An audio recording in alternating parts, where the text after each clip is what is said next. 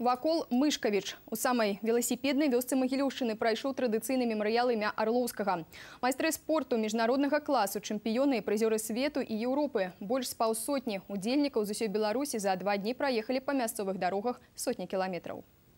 Шасейныя гонкі заўсёды прывабліваюць сваёй прыгажосцю. Гэта не толькі спорт, але і знаёмства з мясцінамі і культурай. Аматары велагонак адзначаюць, што вёска Мышкавічы гэта драўляныя будынкі побач з гандлёвым цэнтрам і шасціпавярховай гасцініцай, азёра і бярозавы гай.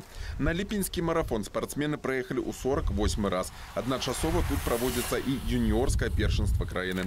Сёлета мемарыял Арлоўскага забраў больш за паўсотню мацнейшых спартсменаў Беларусі. У першы дзень у групавых гонках барацьба разгарнулася паміж мужчынскімі камандамі гомельскай і магілёўскай абласцей. Долі адной секунды падзялілі першае і другое месца. Наш Ілля Волкаў стаў другім, гамельчанін Уладзіслаў Янашкін прыехаў першым. Очень интересная гонка. Э, Сюда приезжает очень много спортсменов с серии страны, э, борются за призы. Также здесь же вот проводится чемпионат критериями. Это тоже как бы как стимул стать чемпионом страны. Поэтому очень солидные, э, солидные участники собираются сюда. Хочется показать хороший результат здесь. У жанчын лепш за ўсіх выступила мінчанка Кацярына Пятроўская. Мясцовая гоншчыца з Кіроўску Надзея Свіркова на п'едэстал узыходзіла двойчы. Срэбра ў першы дзень і бронза ў другі на гонцы крытэрыум.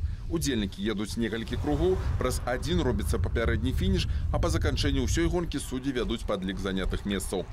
Яшчэ адну ўзнагароду атрымала юна магіляўчанка Анастасія Колесава. На першынстве краіны яна стала бронзавым прызёрам.